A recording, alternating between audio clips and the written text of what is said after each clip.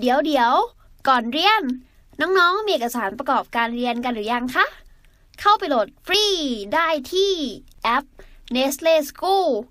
ทั้งใน iOS และ Android เลย จงหาว่า 8 ในแต่ละข้อต่อไปนี้มีค่าประจำหลักเท่าไหร่ ข้อ 1 8 อะไร 81จุด54 81 8 อยู่ในหลัก 8 อยู่ในหลัก 10 ถูกไหมมีค่าประจำหลักคือ 10 ง่ายนิดเดียวอะจบแล้วตอบมีค่าประจำหลักเท่าไหร่ 10อะอันนี้ 8 นี่อยู่ในหลักอะไร อันนี้หลักหน่วย ส่วนสิบส่วนร้อยถูกไหมส่วนร้อยมีค่าประจำหลักเป็นหนึ่งส่วนหนึ่งร้อยหรือว่าเท่ากับหนึ่งส่วนสิบกำลังส องสิบกำลังสองมาจากไหน นี่ไงมีศูนย์สองตัวก็เป็นสิบกำลังสองแปดอยู่ในหลักอะไร ส่วนสิบหนึ่งสามหนึ่งร้อยสามสิบสี่จุดแปดแปดอยู่ในหลักส่วนสิบมีค่าเป็นส่วนสิบนี่ไงเขาพูดอยู่ส่วนสิบก็คือหนึ่งส่วนสิบแปดอยู่ในหลักส่วนสิบส่วนร้อยส่วนพันมีค่าเป็นหนึ่งส่วนหนึ่งพันหรือเท่ากับหนึ่งส่วนสิบยกกำลังหนึ่งสองสาม โอเคเนาะตามทันนะ ต่อมาสิบแปดจุดศูนย์สี่แปดอยู่ในหลักหลักหน่วย มีค่าเป็นหนึ่งแล้วแปดนี้อยู่ในหลักส่วนสิบส่วนร้อยส่วนพันส่วนหมื่น อยู่ในหลักส่วนหมื่นมีค่าเป็นหนึ่งส่วนหนึ่งหมื่นหรือเท่ากับหนึ่งส่วนสิบยกกำลังหนึ่งสองสามสี่หนึ่งส่วนสิบยกกำลังสี่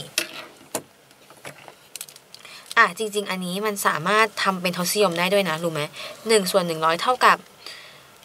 ศูนย์จุดศูนย์หนึ่งหนึ่งส่วนสิบเท่ากับศูนย์จุดหนึ่งหนึ่งส่วนหนึ่งพันเท่ากับหนึ่งสองสามเดี๋ยวจะบอกว่าทำไมมันถึงเท่านี้ศูนย์ศูนย์หนึ่งแล้วก็ศูนย์จุดหนึ่งสองสามสี่อะ เดี๋ยวเรามาดูเราเรียนไปแล้วเราต้องใช้เป็นสิบหนึ่งส่วนสิบกำลังสองใช่ไหมเท่ากับ สิบกำลังลบสองป่ะ เราย้ายมันขึ้นมาไว้ข้างบน แล้วสิบกำลังลบสองเท่ากับหนึ่งคูณสิบกำลังลบสองใช่ไหมหนึ่งคูณเข้าไปได้ไม่มีปัญหาอะไร เหมือนเราคูณที่เหมือนกันบนล่าง อันนี้เราคูณหนึ่งเข้าไปเลย ค่าไม่เปลี่ยนแปลงนะ ค่านี้มานี้ค่าไม่เปลี่ยนแปลง อะแล้วไงต่อ คูณเลื่อนไปทาง คูณเลื่อนขวา ถูกไหมหนึ่งจุดมันอยู่ตรงนี้ คูณเลื่อนขวา แต่ว่าอันนี้มันมีติดลบแปลว่าเราจะเลื่อนไปทางซ้ายกี่กี่ที เลื่อนซ้ายสองครั้งก็เลื่อนหนึ่งสองก็เป็นจุดศูนย์หนึ่งข้างหน้าก็ใส่ศูนย์ก็เป็นศูนย์จุดศูนย์หนึ่งนี่ไงที่มา อันนี้เหมือนกันหนึ่งส่วนสิบทำยังไงหนึ่งส่วนสิบก็คือหนึ่งส่วนสิบเท่ากับสิบยกกำลังลบหนึ่งเท่ากับหนึ่งคูณสิบยกกำลังลบหนึ่งคูณเลื่อนขวา มันมีหนึ่งแล้วจุดอยู่ตรงนี้ก็เป็นหนึ่งจุดคูณจะต้องเลื่อนไปทางขวา เลื่อนไปทางขวาลบหนึ่งก็แปลว่าเลื่อนไปทางซ้ายหนึ่งก็เลื่อนไปทางซ้ายหนึ่งทีจุ๊บจุดก็อยู่ตรงนี้ก็เป็นศูนย์จุดหนึ่งนี่ไงศูนย์จุดหนึ่งเหมือนกันสิบกำลังสามหนึ่งส่วนสิบกำลังสามเท่ากับ เท่ากับสิบยกกำลังลบสาม เท่ากับหนึ่งคูณสิบยกกำลังลบสามจุดอยู่ตรงนี้ก็เป็นหนึ่งจุดศูนย์คูณเลื่อนขวา ขวาไปลบสามครั้งก็คือการเลื่อนซ้ายไปสามครั้งก็หนึ่งสองสามปุ๊บ เป็นศูนย์จุดศูนย์ศูนย์หนึ่งนี่ไง เพราะฉะนั้นเวลาจะใส่ค่าประจำหลักอะ จะใส่อันนี้หรืออันนี้ได้มันเท่ากันเห็นไหม ค่าประจำหลัก แต่ว่าที่พี่สอนเป็นเศษส่วนก่อนเพราะว่าเศษส่วนมันง่ายกว่ามันมาจากชื่อเลยส่วนร้อยก็หนึ่งส่วนร้อยส่วนสิบก็หนึ่งส่วนสิบส่วนพันก็หนึ่งส่วนพันหลักหน่วยก็คือหนึ่งส่วนหมื่นก็คือหนึ่งส่วนหนึ่งหมื่นต่อมาเราค่อยๆ แปลงเราแปลงเป็นแล้วนะเราเรียนแล้ว 100 เป็น 10 กำลังสองหนึ่งพันเป็น 10 กำลังสามหนึ่งหมื่นเป็น 10 กำลังสี่อะหลังจากนั้นเราก็แปลงมันเป็นทศนิยมเป็นแล้วด้วยอย่างเช่น1ส่วน10กำลังสี่ได้เป็น 10 ยกกำลังลบสี่เท่ากับ1คูณ10 กำลังลบสี่คูณเลื่อนขวาแต่เลื่อนขวาไปลบ4ทีแปลว่าเราจะเลื่อนซ้าย4ทีอันหนึ่งจุดศูนย์แล้วเลื่อนซ้าย 1 2 3 4 นี่เติม 0 3 ตัวเติม 0 ช่องว่างก็เป็น 0 0 0 0 1 เนี่ยศูนย์จุดศูนย์ศูนย์หนึ่งอะเดี๋ยวเราลองเอา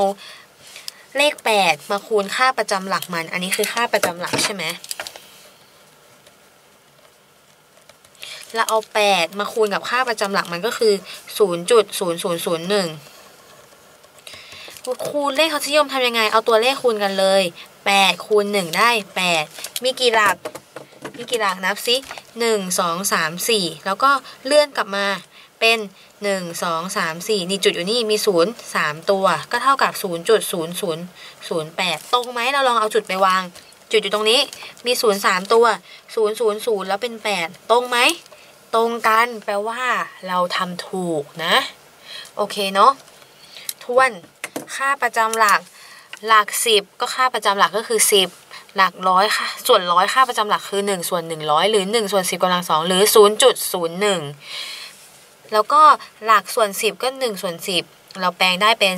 0.1 หลักส่วนพันก็ 1 ส่วนพันแปลงได้เป็น1ส่วน10กำลัง3หรือว่า 0.001 หลักหน่วยก็ค่าประจำหลักคือ 1 หลักส่วนหมื่นค่าประจำหลักคือ 1 ส่วน1 0,000หรือ 1 ส่วน 10กำลัง4หรือเท่ากับ 0.0001 จริงๆอะ